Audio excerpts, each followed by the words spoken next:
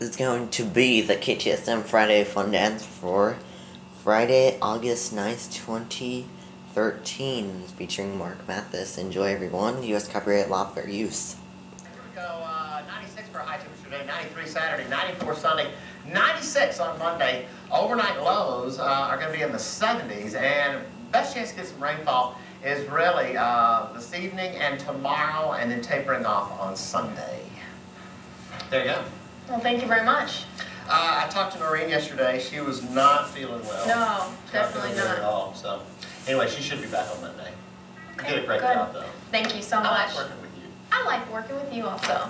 So is it time now? Are we doing the Friday Fun Day? Are we? Oh, yeah, Friday Fun Dance. Bobby? Bye, Bo. All right, here we go.